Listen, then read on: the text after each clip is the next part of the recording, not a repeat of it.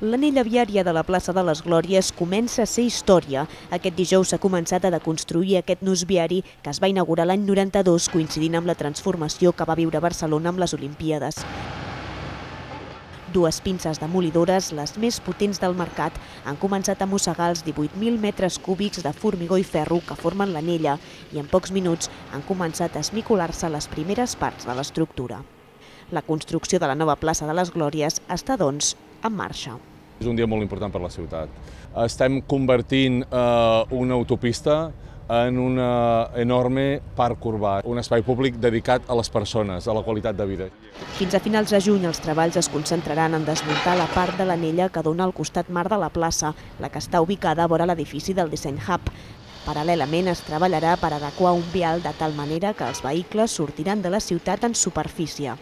Més endavant es deconstruirà l'estructura del costat muntanya, per on ara encara hi circulen vehicles. Això serà al setembre, quan ja no quedarà cap part de l'anella viària d'Empeus. El desmuntatge s'ha dissenyat seguint criteris de sostenibilitat per reduir al màxim el soroll i la pols.